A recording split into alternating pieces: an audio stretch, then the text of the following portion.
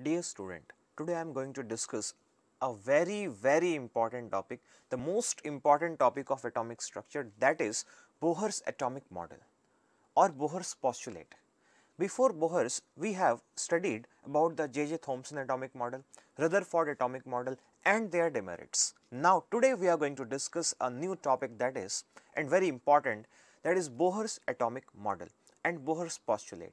Why Bohr's postulate is very important? Reason 1 because Bohr's postulate you will get in class 11th also and in class 11th you will get in physics also in chemistry also and of course it is in 9th. So, that is why it is very important. Second thing, Bohr's atomic model is much much better than the J.J. Thomson atomic model and Rutherford atomic model. That is why it is very important and so many questions and so many derivations came from here. So many formulas we have uh, originated from here actually.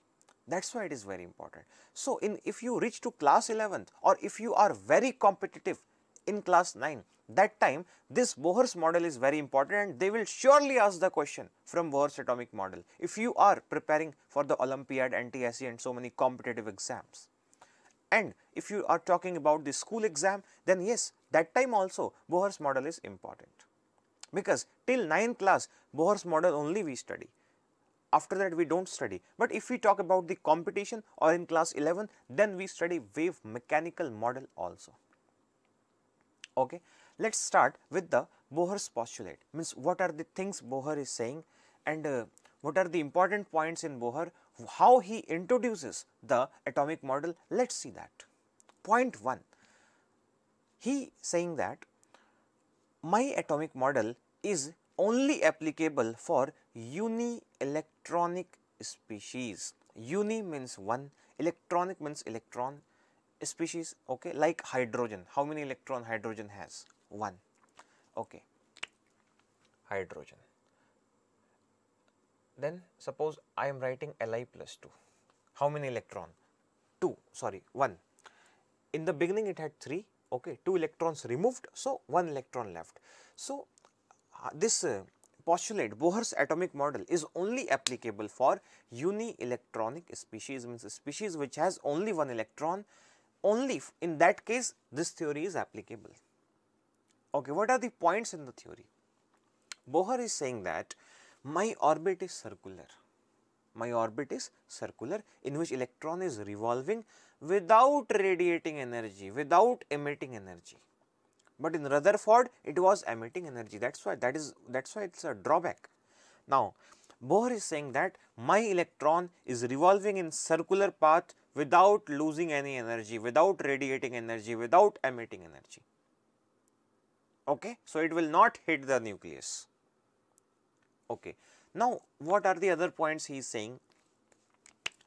See, you know very well that if this is nucleus, this is the first orbit, second orbit, third orbit, fourth orbit, fifth orbit like that. Okay. This is K, L, M, N, O, P, Q, R like that. Okay. This is orbit number 1, orbit number 2, orbit number 3, orbit number 4, orbit number 5. We know that electrons revolve in the circular orbit. Okay. So, this is the part small parts of the orbit.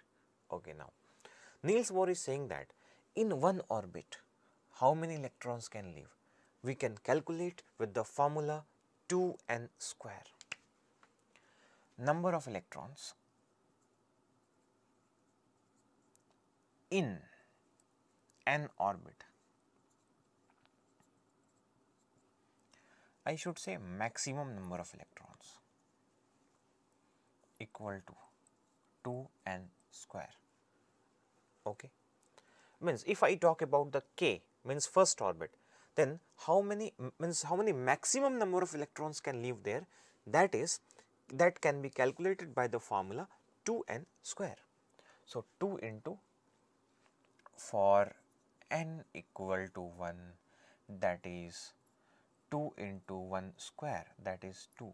It means Bohr is saying that in very first orbit only 2 electrons can live that is it. Okay, let us talk about the second for n equal to 2, 2 into 2 square. Okay. So, 2 square means 4, 4 2 is 8. So, tell me how many maximum number of electrons can leave in second orbit that is 8. Okay, n equal to 3. So, 3 square 9 into 2 18. So, in third orbit maximum number of electrons can leave that is 18. 19 electrons cannot leave there 17 electrons can leave no problem, 1 electron can leave no problem, 14 electrons can leave no problem, but more than 18 electrons can't leave in the third orbit. Okay. So, this is how he is telling slowly slowly all the important points about his atomic model. Dear student, now I am going to display a slide which will give you information. See the first point, Bohr's atomic model.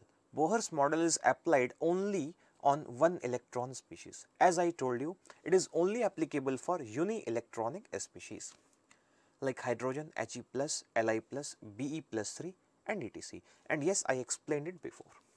Now, I will display you the next slide which already I explained. See, the next point is electron revolves around the nucleus in a fixed circular orbit. I told you that Bohr is saying that my electron is not radiating, not emitting any energy while revolving in my circular orbit. Because this was not the condition in Rutherford atomic model and this is what he improved in his atomic model that his electron is not hitting the nucleus, his electron is not emitting any energy while revolving and it is revolving in a stationary orbit. Okay. Now read the point. Electron revolves around the nucleus in a fixed circular orbit of definite energy. As long as the electron occupy a definite energy level, it does not radiate out energy. I told you it does not radiate. That is, it does not lose or gain energy. These orbits are called stationary orbits. So, what is a stationary orbit? Such kind of orbit in which electrons will revolve without losing the energy or without gaining the energy. That type of orbit is called stationary orbit and Bohr's orbit is a stationary orbit. Now, I will display you one next, yes, here you can see a new term, let me explain you first, then I will tell you. You must remember the momentum part. Momentum two types, one is linear momentum and other is angular momentum. Okay. So, if you remember the linear momentum that was mv, but here is not linear momentum, here it is angular momentum and angular momentum formula is mvr. Angular momentum formula is mvr. So, here understand what the Bohr has given its condition. He is saying that mvr must be equal to n h by 2 pi where n is integer actually. So, you have to remember mvr equal to nh by 2 pi. h is Planck's constant, 2 already constant, pi already constant 22 by 7 or 3.14 okay. So, mvr equal to nh by 2 pi. This should be the condition. Let me tell you what is this. See what happens there are infinite orbits in any atom whether it is hydrogen or sodium or small atom or big atom, all the atom contains infinite number of orbits. It does not mean that hydrogen contains only one orbit and sodium contains 13 orbit, 12 orbit. It is not like that. All the atoms contains infinite number of orbit, but yes, in very selected circular orbits, in very selected circular orbits, electron will leave, electron will revolve, electron will circulate there. So, how to select in infinite orbit how to select that their electron will leave and their electrons will not leave. This is the criteria. Such orbit in which MVR equals to NH by 2 pi only in that orbit electron leaves not in all the orbits. Okay. Now, detailed discussion of this part MVR equal to NH by 2 pi is in senior class, is in higher class. Here we should know the formula only that is it. So, let me tell you h is Planck's constant which is 6.6 into 10 raised to minus 24 as I taught you in the Planck's quantum theory also and this full term is constant. But n is variable, n will change and n is orbit number. What is n? n is orbit number. MVR is what? Angular momentum. So, what should be the angular momentum tell me? Angular momentum must be nh by 2 pi then only electron will revolve in that particular orbit Okay. So, this is the condition. Now, you can read the text electron revolves only in those orbits whose angular momentum is an integral multiple of the factor h by 2 pi. Okay. One more thing in few books what they do this h by 2 pi they write h cross. So, in few books you can find h by 2 pi equal to h cross. In that way MVR equal to NH cross right okay. Now I will give you one more slide. As I discussed the first orbit the very first orbit will be k or 1 you can say then L M N and you can continue with OP no problem okay.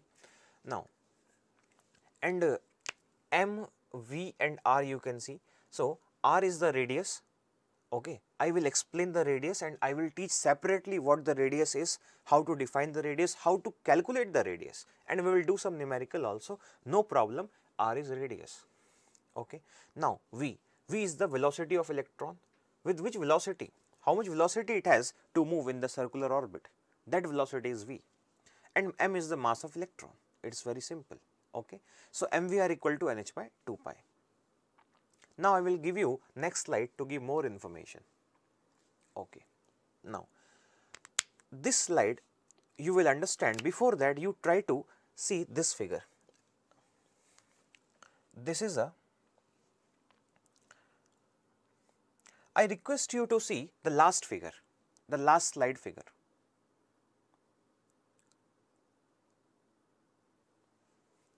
Last slide figure was like this 1, 2, 3, 4 like that. Okay. Suppose electron is living in first orbit. Suppose electron is in first orbit. What happens if this electron will get some energy? If I supply energy to this to this electron in this orbit, then what happens? Then electron will jump from one orbit to higher orbit. I am not saying it will jump from 1 to second orbit. No, it is not necessary. Electron can jump from 1 to 2, 1 to 3, 1 to 4, 1 to infinity also, no problem. Okay. And once electron will jump from one orbit to other orbit. So, the question is electron absorbed energy or released energy. So, electrons absorbed the energy. Okay. Now, second thing. Now, it came to the higher orbit like suppose electron is in the fourth orbit Okay. What happens when electron reaches to the higher energy level means higher orbit then at that moment it is very unstable and it wants to return back. So, to come back once again what happens these electrons will jump and that time it will lose energy. So, when electron moves from higher orbit to lower orbit it will lose energy, it will release energy. When orbit jump from lower energy to higher energy means lower orbit to higher orbit that time it will absorb energy and this is what I want to say here with the text. You can read the energy is emitted or absorbed only when electron jumps from one energy level to other energy level. What is energy level? So, Bohr's orbit is also known as energy level. Bohr's orbit like first orbit, second orbit, third orbit, they are known as stationary orbit, they are known as energy level like that. It may jump from high to low or low to high. I told you when emission of energy takes place. Emission takes place when electron jump from high to low. Okay, absorption of energy takes place when electron jump from low to high. Okay. So, here we studied the important points about the Bohr's atomic model, its postulate. Thank you.